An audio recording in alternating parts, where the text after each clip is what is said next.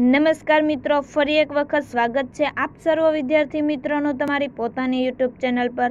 આજે આપણે ધોરણ નવના ગુજરાતી વિષયના પાઠ નંબર બે, જેના સ્વાધ્યાયનું સોલ્યુશન જોશું. આપણે આ ચેનલ પર ધોરણ નવના ગુજરાતી વિષયના બધા જ પાઠના સ્વાધ્યાયના સોલ્યુશનના વિડીયોની લિંક ડિસ્ક્રિપ્શન બોક્સમાં આપેલ છે. તો જોઈએ આપણે તેનું સોલ્યુશન. જેમાં પ્રશ્ન નંબર એક નીચેના પ્રશ્નોના ઉત્તર માટે આપેલા વિકલ્પોમાંથી સાચા ઉત્તર શોધીને તેના ક્રમ, અક્ષર, પ્રશ્ન સામેના ચોરસ બોક્સમાં લખો. જોઈએ તેમાં નંબર એક. ચોરીની ભૂલ સ્વીકારવામાં ગાંધીજીની જીભ ઉપડતી નથી કારણ કે તો જવાબ આવશે સી પિતાજી દુઃખી થશે, કદાચ માથું ફૂટશે તેવા ભયે. ત્યાર પછી નંબર બે. સોનાના કડામાંથી એક તોલો સોનું કાપીને વેચવાની ઘટનાની ગાંધીજી ઉપર સી અસર થઈ. તો જવાબ આવશે સી, ચોરી કરવાની વાત ગાંધીજી માટે અસહ્ય થઈ પડી. ત્યાર પછી નંબર ત્રણ, ખોટું કાર્ય કર્યાના અપરાધ ભાવથી બહાર આવવા શું કરવું જોઈએ? તો જવાબ આવશે બી, જોખમ ખેડીને પણ દોષ કબૂલ કરવો જ જોઈએ. નંબર ચાર, બીડી પીવાની કુટેવમાંથી બીજી કઈ કુટેવ આવી? તો જવાબ આવશે બી, નોકરના પૈસા ચોરવાની. પ્રશ્ન નંબર બે, નીચેના પ્રશ્નોનો બે ત્રણ વાક્યમાં ઉત્તર લખો. નંબર એક, ગાંધીજીએ ચિઠ્ઠીમાં શું લખ્યું હતું? તો જવાબ આવશે, ગાંધીજીના માંસાહારી ભાઈને દેવું થયું હતું.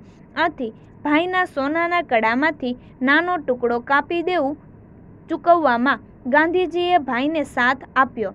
આ ચોરી કર્યા પછી ગાંધીજીને પશ્ચાતાપ થયો. અને પિતાજીને ચિઠ્ઠીમાં આ ચોરી કર્યાની તેમણે નિખાલસ કબૂલાત કરી. ત્યાર પછી પ્રશ્ન નંબર ત્રણ. નીચેના પ્રશ્નોના સાત આઠ લીટીમાં ઉત્તર લખો. નંબર એક. પાઠને આધારે ગાંધીજીના ગુણોનું વર્ણન કરો. નમ, જોઈએ તેમાં જવાબ.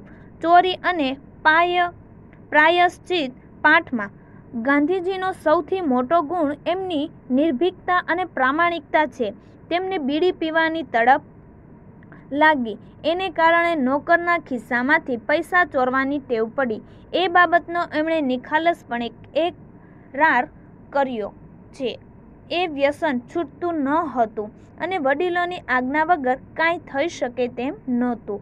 એના કારણે તેમને આપઘાત કરવાની ઈચ્છા થઈ, પણ આપઘાત કરવો સહેલો નથી.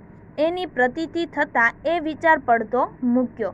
તેમજ ભાઈનું કરજ ચૂકવવા માટે ભાઈના સોનાના કડામાંથી એક ટુકડો કાપી કરજ ચૂકવવામાં ભાઈને સાથ આપ્યો. આવી અનેક બાબતો એમના મનમાં ખટકતી હતી. એ માટે જોખમ ખેડીને પિતાજી પાસે દોષ કબૂલ કરવાનો ગાંધીજીએ નિર્ણય લીધો.